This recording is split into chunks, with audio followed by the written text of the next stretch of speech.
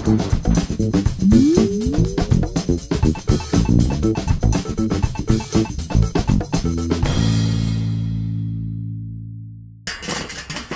everybody, welcome to the Labor Day edition of the YS Podcast. My name is Adam McLane, and uh, I don't know about you, I hope that you are just lounging today. You're totally resting and enjoying the Labor Day goodness. Uh, we're gonna get you off to Les Christie right now. He's gonna teach you a skill. Uh, I know you guys like to play games with your youth group, or maybe you're learning how to like to play games, and uh, today we're gonna talk about dividing. Now, for some games you play, you'll want to divide the kids up into groups. To do this, let me give you some do's and some don'ts. First of all, some don'ts.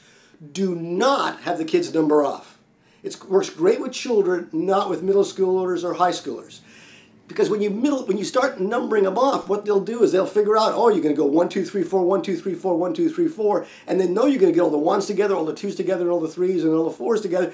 So what they'll do is count off and have their friends get ahead of them or behind them so they're all together as a group. One, the purpose of dividing kids into teams is so they'll meet some new people. Second, do not appoint two team captains and have kids start choosing members of the group to be on their teams. That's always the worst way to, to select a, a team because some kid is going to be chosen last and they feel terrible, they don't want to play, and it's just a downer for the whole day. Let me give you some better ways to divide students up. First of all, you can do it by their birthdays. Have all the January, February, March birthdays get in one corner, April, May, June, the next corner. Have all the four, so you have four triads all around the room, then they're in, in groups. Another way to do it is by those that are born on that are even in age or that are odd in age. So all the ones and the oh, I guess you wouldn't do ones because that would be really tiny. But all the 13 year olds and 15 year olds and 17 year olds get together, and all the 14 and 16 year olds would get together. So you have them by their ages as odd and even. Also, another way is when they come in the room, you would throw jawbreakers in their mouth. Just give them, each of them a jawbreaker, different colored, you know, candy, hard candy. They're sucking on the candy as they're going through your meeting. When it's time to divide them into small groups, have them just stick out their tongues. Get all the red tongues over there, all the blue tongues over here, all the green tongues over here, and all the yellow tongues over here. You got them divided into groups. My favorite way, though, that I just discovered a couple of years ago, is toilet paper. No, no, no, no. It's not, does the toilet paper come over the roll or does it come under the roll? In all the surveys I've ever done, two thirds of people have it so it comes over the roll. So it wouldn't evenly divide the group up. But if you want to divide a group pretty evenly, almost every group I've ever done this to, is, is how students either fold their paper or they scrunch their toilet paper. Some of you are thinking right now, there's another way to do it. yes, there is. Some people fold it. Yes, they do. Some of you that are scrunchers are thinking, why would someone take the time to fold that? Well, they do. So, but when you discover it, is that about half the students fold, half the students scrunch. You get them in two halves. They're giggling and laughing when you, they're getting divided up, and then they're ready to play the game, and they're in a great mood, and it's a lot of fun. Hey everybody, uh, I was supposed to interview Mark Matlock, but he thinks he can catch a plane, so this is how we do it here at YS. Look at him. Leave me alone. Look at that. Oh, leave me alone. I have work to do. See my beautiful Planet Wisdom t-shirts? You can have one too. Ooh. Go to planetwisdom.com. Is that your car, Mark? No. It's a rental.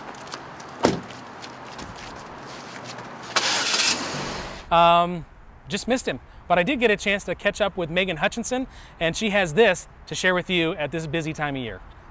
Hi, my name is Megan, and my husband Adam and I are parents of two young boys who are the ages of two and five, which means our life is totally chaotic and crazy and fun and psycho all at once. Uh, and on top of that, my husband works full time and I work part time as a youth pastor, you know, part time. And so life, life is very full and, and very, very crazy. And so as a result, we have found that we have to be what we call radically intentional about pushing the pause button on our life and taking care of ourselves. And so one of the probably the three areas that we kind of tend to or try to pay attention to more and more and more, especially as our lives get crazier and crazier with our kids growing up and the jobs that we hold, are the area of play and exercise and time alone. And those three areas are, again, those are the areas that we feel like we need to be radically intentional about caring for and um, preserving. So anyway, a few days ago, I woke up kind of in a bad mood. I'm sure that doesn't ever happen to any of you, but it did to me. And my husband just said, "Hey, hon, I think you just need to take some time alone and and exercise. It's been a few, been a while since you have." And I said, "Gosh, thanks. I need to go do that." So I did. I spent some time alone and I uh, went to the gym and exercised, and I came back so refreshed, so renewed, so like ready to love on my kids in a new way and my husband and even reach out to teenagers in a new and refreshing way. And I know that sounds crazy because it was just a couple hours I was gone, but I felt so much better. And then that day, our whole family, our, you know, my husband and our two boys, we went out and we went surfing all day long and just played. I made sand castles. I got sand all over me. I was a mess and lots of laughter, lots of chaos, and just a lot of play. And that was just a few days ago, and I came back from that time with my family, and, and then my time being alone, playing and exercising, and kind of refreshing my own soul, time with the Lord alone. And I was a new person. I really was a new person. And I am reminded in this field, this crazy, awesome field called youth ministry, that we need to take time to nurture ourselves. And for me, that's that means exercise, it means being intentional about play and pushing the pause button and just spending time alone with with the Lord, journaling, reading, contemplating, meditating. And when we do that, something happens inside of us that draws people to us, that makes us kind of more magnetic to the world around us. Says there's something different about her or or him. And I'm reminded that in the Bible, Jesus took his disciples often to a place called Caesarea Philippi. And I've been there. I've had the privilege of going to Israel few years ago. And it's this beautiful place where there's streams and fountains and beautiful rocks and grass. It's just gorgeous. And I knew then why God placed such, Jesus placed such a big premium on the Sabbath, on rest, on taking time away.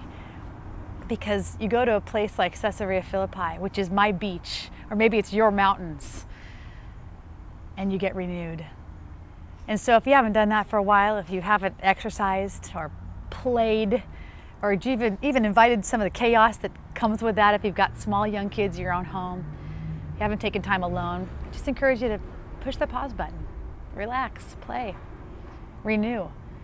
Because to the extent that we do that to ourselves and then to our family, we're able to do that with teenagers. Thanks for doing what you do. Everybody, thanks for watching this week. I hope you got something out of it. I hope you, you picked up a tip or you got encouraged, uh, but we'll catch you next week. Um, as always, I want to invite you to connect with me. You can send me an email at adam at youthspecialties.com. Look me up on Facebook or on MySpace or on Twitter or whatever else that you use that you want to connect with me. You can even call us. It's a new thing we have called the telephone. But uh, we'll catch you next week and enjoy your Labor Day. Are looking about done. thank you